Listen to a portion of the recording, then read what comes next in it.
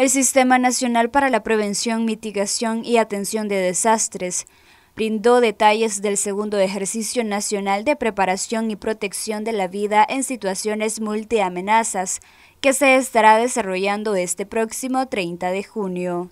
Va a ser énfasis en tres aspectos importantes. Uno, el tema de las lluvias, las tenemos encima, todos sus efectos, inundaciones, en algunas zonas nos provocan deslizamientos, en otras zonas nos provocan situaciones en las cuales inclusive dificultan, incomodan la actividad económica. Y frente a esto tenemos que estar preparados.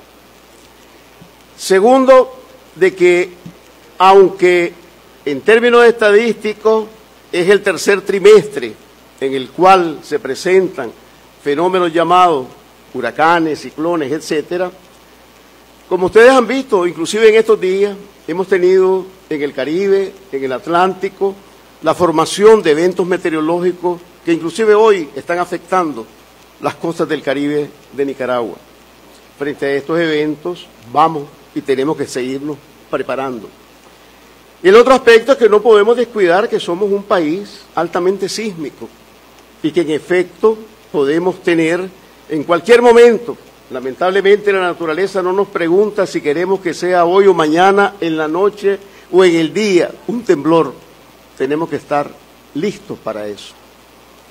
Y por la experiencia de nuestro país, lógicamente cuando estos temblores son en las costas del Pacífico, se nos pueden producir lo que llamamos tsunami. Según las autoridades, para este ejercicio se tiene listo un total de 7.956 planes comunitarios en 153 municipios.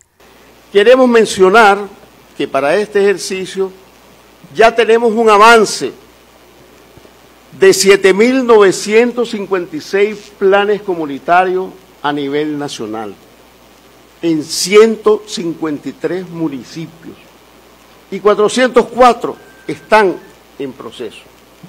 Si lo vemos con la meta que nos hemos propuesto a nivel nacional, estamos caminando prácticamente a tres cuartas partes de lo que nos propusimos como meta y eso, compañeros y compañeros, es un gran esfuerzo que el liderazgo comunitario, que nuestro partido político ha venido realizando en estos meses, si ustedes quieren, de forma disciplinada, ordenada, calladita, como decimos nosotros, como hormiga tejiendo estas capacidades que es muy importante.